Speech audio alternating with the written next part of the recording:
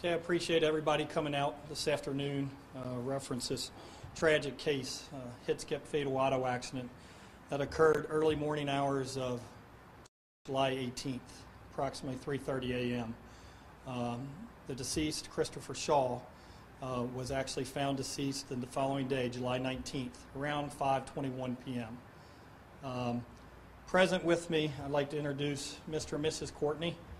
Uh, they were the parents of Christopher Shaw, who was 26 years old at the time of his death. Also, I'd like to introduce Lieutenant Macaluso. He heads up our criminal investigation section. And also Corporal Brad Durger. He's the traffic safety officer, along with two other officers that assisted with the actual reconstruction of the auto accident. Basically, I, I, we just want to reach out to the public right now. Uh, we have very few leads. Uh, we've had very few leads since the very beginning of this incident, this tragic incident. Uh, and we need the public. Uh, it's hard for me to believe that somebody out there other than the driver doesn't know information about this. I believe there's people out there that know information about this, and we urge the public to come forward to let us know uh, what they do know. They might think it's an insignificant tip, they might think there might not be much to it, but right now we're just urging the driver, the witnesses, or any of the public that might have caught wind, heard anything relating to this tragic accident, we just ask you to contact the Delhi Police Department. You can call the police department at 922 0060, or there's a, a few means that you can do it anonymously. You can go to our Facebook page, like our Facebook page, and there's an icon on there that says submit a tip. Totally anonymous. You can also go to our website police page at www.delhi.oh.us. You can submit a tip from there, totally anonymous. I don't know who you are. Also, you can download an app that Delhi Township Police Department has. You can search either iTunes or Google Play, DTPD, all capital, and then TIP, all one word, DTPD, small TIP. You can search that app. It's a total, totally anonymous app also. You can actually take photographs from there. So if you have any photographs, if you heard that this individual or this car was involved and you're able to take a photograph of the car, you can actually text an anonymous tip of that photograph to us, and we greatly appreciate it. Anything that the public can do to help us out with this case, uh, we're urging you to come forward. Um, I'm sure it's not easy for the driver sitting at home, living with this also, to come out, bring closure not only to the family but to themselves of this tragic accident. There's never a wrong time to do the right thing. And that's what I urge the public to do right now to help our department, to help bring closure to the Courtneys and the loss of their son back on July 18th. There's never that wrong time to do the right thing. So with like that, with that, I'd like to introduce Mr. and Mrs. Courtney.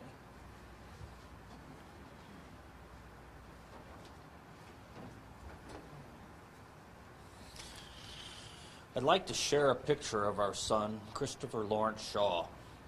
He was kind, he was gentle hearted, and was a good friend to many.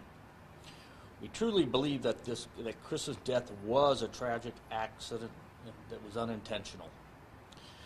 We believe that someone has to know something regarding the events that led to the death of our son.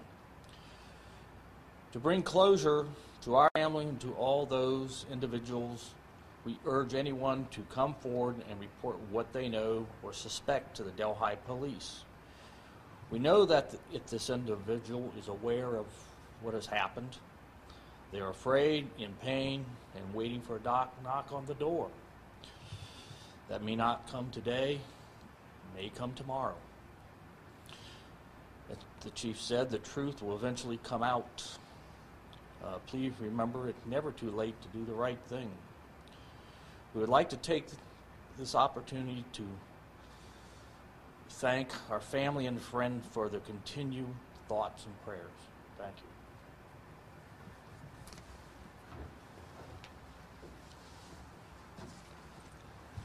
Hello. Like the chief said, I want to thank you guys for coming out today. Um,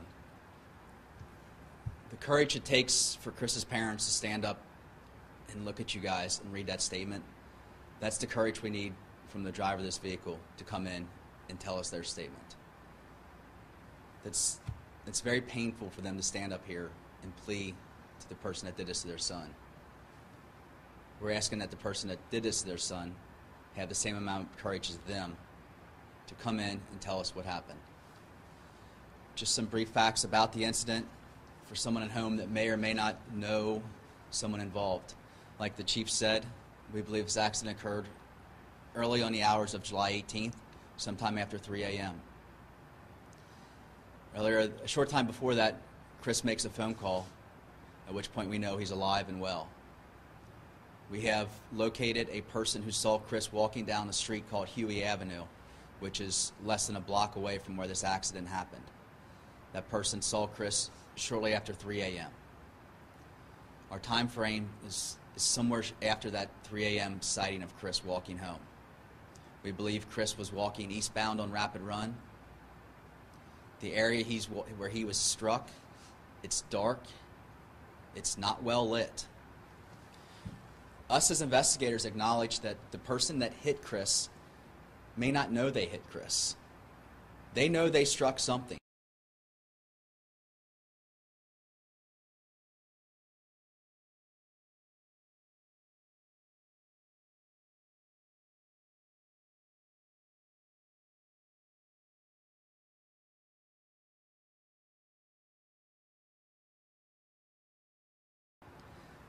Potentially, this person drove by looking to see what they hit, couldn't find any anyone or thing. Chris was wearing dark clothes.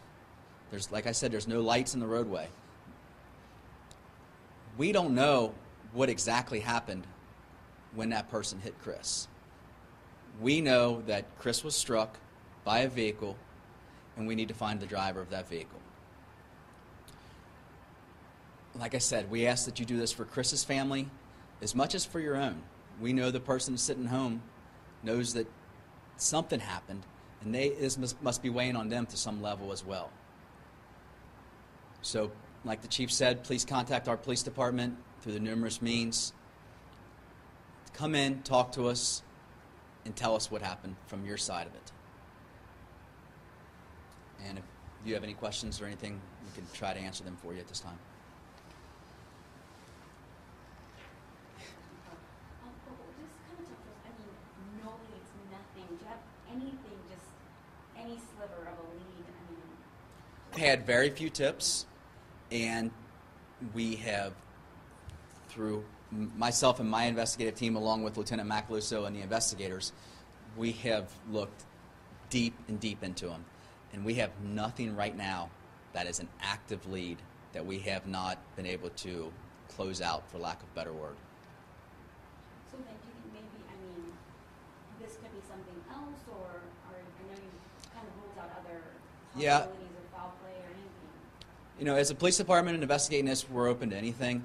I can tell you, in speaking with the coroner's office, um, it's you know the cause of death was a was a result of an auto accident, and again, we're not going to rule out anything. Someone wants to come in and tell us about that night or something that's important to this incident, we're going to listen to you.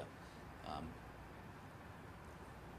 from a scientific investigation portion of it, though, it's clear that Chris was struck by a vehicle, and that the injuries from that accident is what ultimately caused his death.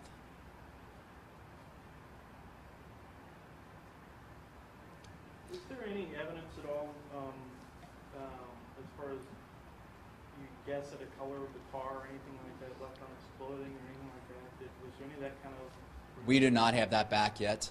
Um, there was nothing clear to us at the scene. Um, his clothing and everything has been submitted to the Hamilton County Coroner's Office for trace evidence, and we don't have anything yet back from them.